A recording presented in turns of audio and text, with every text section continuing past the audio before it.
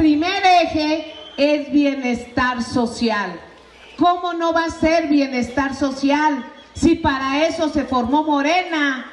Si para eso es nuestro movimiento, si para ello Andrés Manuel López Obrador le quitó el presupuesto a los corruptos del PRIAN, que toda la vida se lo gastaban en corrupción, y dijo, va para programas sociales.